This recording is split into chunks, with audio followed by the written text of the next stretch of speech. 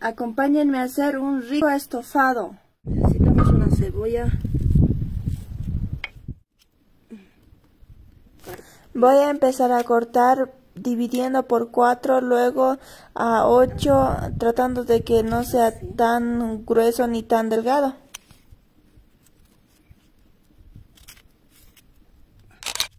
En realidad voy a utilizar una cebolla y medio, aunque están chiquitas. Igual, igual, igual, igual, igual, igual. Y zanahoria.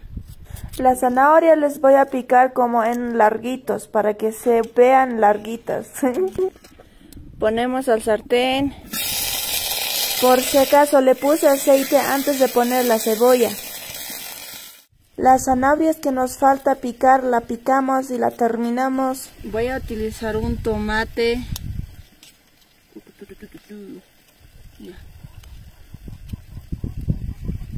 Le ponemos en el bañador. Echamos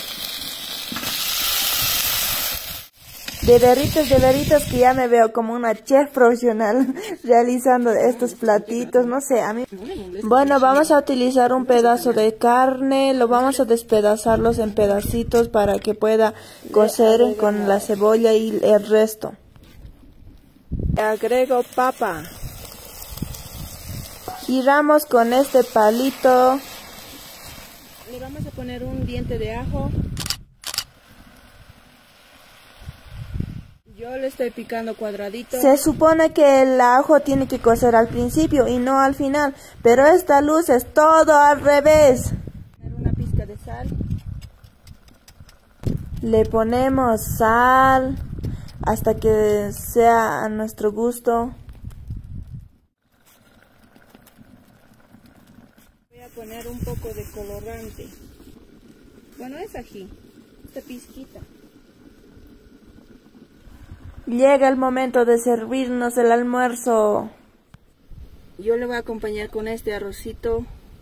A mi arroz le puse sanabria y, y vainitas. En realidad tiene un nombre este plato eh, o este arroz. Ay, no me acuerdo. Creo que es chaufa, chaufaina. Ay, no sé. Estoy, si estoy confundida, corríjanme, por favor. Aquí está nuestro estofado.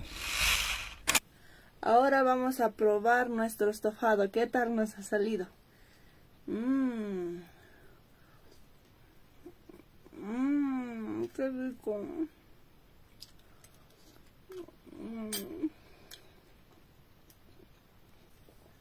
Está muy rico, Nos vemos en próximos videos. Espero que les haya encantado esta receta. Yo sé que es algo simple, pero realmente para mí es algo como un orgullo hacer, preparar más de lo normal. Antes en realidad yo hacía chuño, arroz, papa y luego lo tostaba la carne y listo. Pues ahora estoy saliendo de mi zona de confort. Estoy probando muchos platillos y quiero hacerlo más.